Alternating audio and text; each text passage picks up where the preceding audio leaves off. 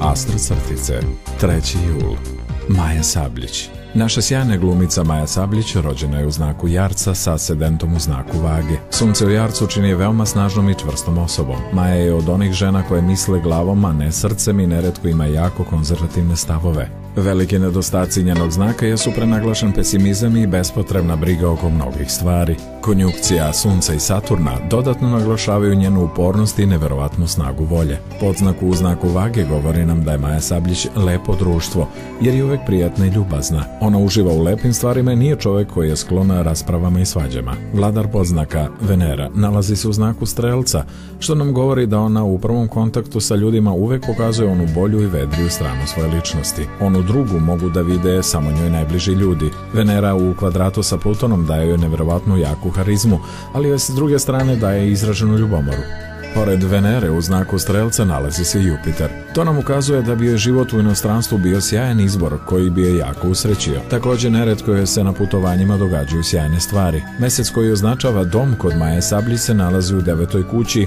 koja također vlada inostranstvom, što još više naglašava šansu života preko granice. Znamo da je dugo živjela u Americi, ali se opet vratila u Srbiju. Osobe s naglašenim znakom jarca, kao što je to slučaj sa Majom, velike su patriote i nostalgičari, a kod nje se taj znak nalazi na vrhu četvrte kuće, kuće doma i domovine. Tako da bez obzira koliko bi Maja sreće imala negde na polju, ona će ostati ovde i nadamo se još dugo nas uveseljavati svojim sjajnim pozorišnim i filmskim ulogama.